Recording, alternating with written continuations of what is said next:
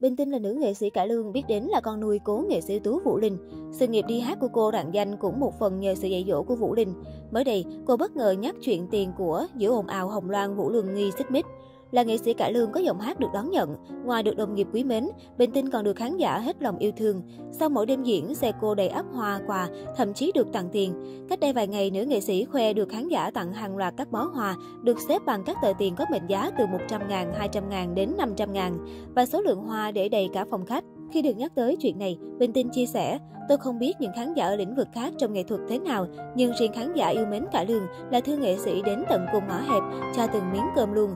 Có những đêm diễn xong, xe tôi hầu như không còn chỗ chứa luôn, nào là hoa, quà, đêm nào về cũng trang trí đầy nguyên một phòng khách. Vậy mà qua mấy ngày hôm sau là không còn tiền, tôi dùng để đi may đồ diễn vì trang phục đi hát của tôi trăm triệu đổ lại là chuyện bình thường, giọng ca 8X hạnh phúc kể. Chi tiết khoe tiền này nhanh chóng bị mang ra soi mói cùng với ồn ào hai con của Vũ Linh Linh là con ruột Hồng Loan và con nuôi Vũ Luân đang có nghi vấn xích mích. Tuy nhiên thực chất, đây chỉ là những chia sẻ của Bình Tinh trên chương trình Đời nghệ sĩ được phát sóng vô tình trùng hợp drama nổ ra. Trước đó, Vũ Luân và Hồng Loan bị nghi là đấu tố quay lại, ẩn ý đá xéo về việc Vũ Luân không còn tương tác và quay lưng với Hồng Loan. Tuy đã lên tiếng đính chính, khẳng định không có chuyện đó, nhưng khi nhắn tin với Hồng Loan, anh vẫn không nhận được lời hồi đáp. Quay lại với sự nghiệp của Bình Tinh, cô sinh ra trong một gia đình có truyền thống nghệ thuật lâu đời.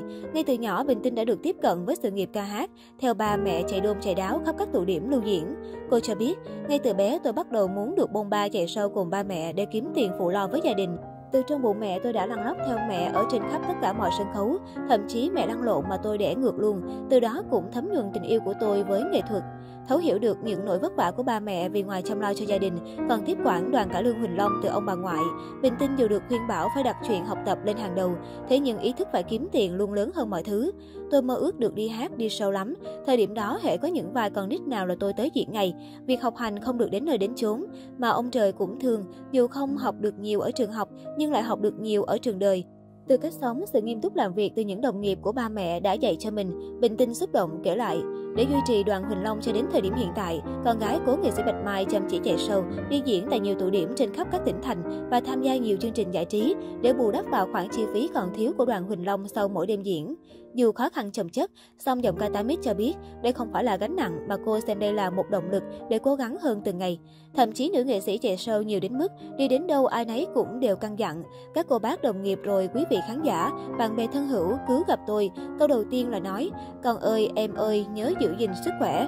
Bởi họ thấy tôi cày quá, tôi trân trọng những tình thương đó, nhưng tôi không cho phép mình ngưng lại hay lùi lại.